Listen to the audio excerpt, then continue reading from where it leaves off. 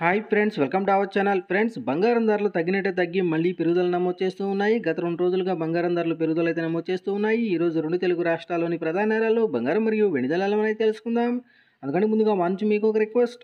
మా వీడియోని ఇంకా లైక్ చేయకపోతే లైక్ చేయండి. మీరు ఇచ్చే లైక్ నాకు ఎంతో సపోర్టింగ్ అండ్ ఎంకరేజింగ్గా ఉంటుంది. అదేవిధంగా మా ఛానల్ని సబ్స్క్రైబ్ చేసుకోండి. పక్కన వచ్చే గంట సమయం యాక్టివేట్ చేసుకోండి.